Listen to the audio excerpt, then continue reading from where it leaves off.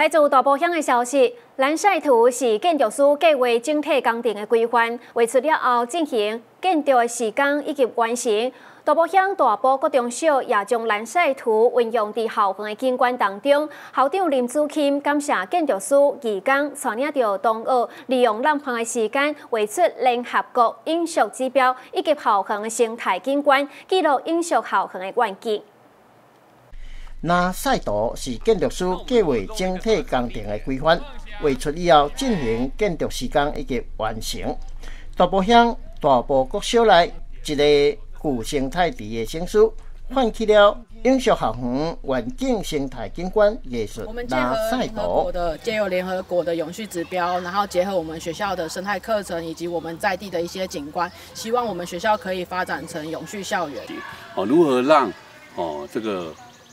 出去外面工作，这些大埔的人回到大埔继续工作，这是我们在办教育上面的最终的一个想法。所以，我们想要把这个希望、愿望画在我们的墙壁上，那时时的提醒我们自己，我们的学生未来去工作，能够想到故乡的这一切，那回到故乡来服务。校长林竹钦感谢建筑师义工带领着同学。利用空闲的时间，画出联合国永续指标以及校园生态景观。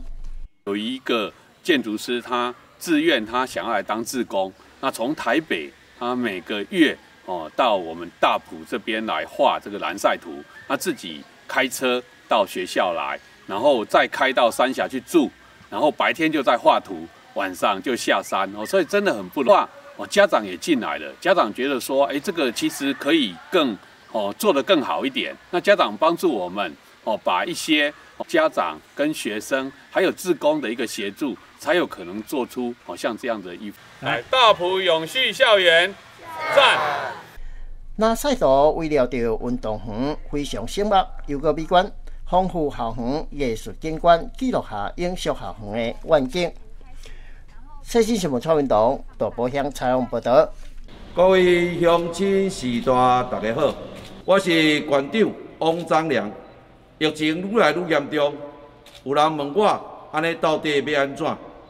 虽然严重，但是大家毋通恐慌，拜托大家做好三件代志。无必要的时阵，请大家莫出门，挂喙蓝、甲洗手，做好这三件代志真重要。各位乡亲、各位士大，按照政府的指示。大家团结对抗病毒，毋免惊。拜托大家无必要的时阵，莫出门，挂喙蓝，甲洗手。感谢，多谢，努力。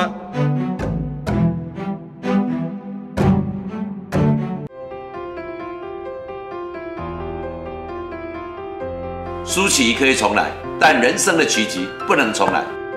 加入 AI 科技特色班，设计属于你的未来。